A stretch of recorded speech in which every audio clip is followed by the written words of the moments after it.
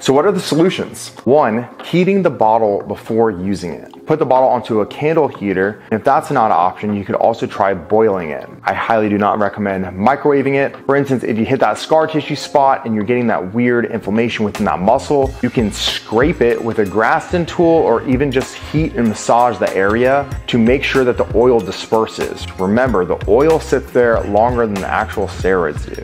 Now, in extreme circumstances, you could use something like an Advil to reduce down the inflammation. I would highly not recommend relying on it for post-injection pain. I will caution you, if you keep getting post-injection pain, the solution was probably mixed improperly or you're just having a bad response to it. I would throw away the bottle. It's not worth having an issue every single time. It does affect mind to muscle connection with that muscle. Talking from personal experience, get another one.